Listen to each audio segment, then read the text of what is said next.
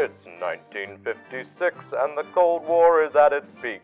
But even total annihilation won't stop the Susan B. Anthony Society for the Sisters of Gertrude Stein from celebrating their annual quiche breakfast.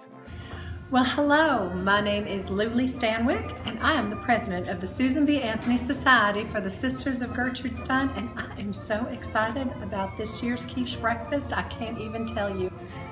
Hi, I'm Dale Prist, and I am the historian of the Susan B. Anthony Society for the Sisters of Gertrude Stein. And the first time I had quiche, I fell in love because it was eggy and cheesy and creamy. Hi, I am uh, Wren Roblin, and I am the events chairwoman of the Susan B. Anthony Society for the Sisters of Gertrude Stein, and I'm just so excited about this year's quiche breakfast. I'm Ginny Cadbury, and I'm the secretary of the Susan B. Anthony Society for the Sisters of Gertrude Stein.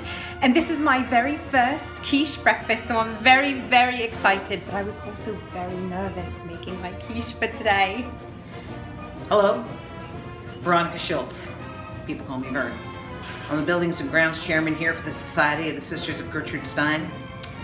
And I just want to say that I'm very excited about this year's quiche breakfast. I prepared the facility. It is a safe place for America and for quiche. Because this is the time when we all get together and we feel the strength and the unity that Lady Montmont brought together for all of us. The egg is as close to the Lord Jesus as a piece of food can get. Don't miss your chance to join the sisterhood for the most uproarious community meeting of your life in five lesbians eating a quiche.